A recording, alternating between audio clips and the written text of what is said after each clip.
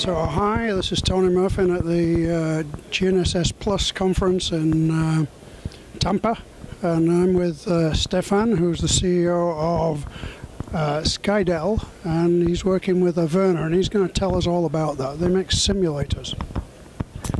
Hi, I'm uh, Stéphan, and uh, at Skydel we develop a GNSS simulator.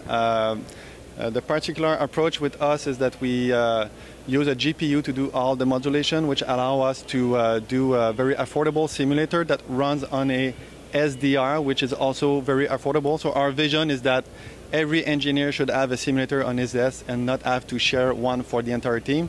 And also our software, since it's all software defined, it works on different platforms. So it works also on the Averna record and playback platform, so you can combine record and playback and simulation all together.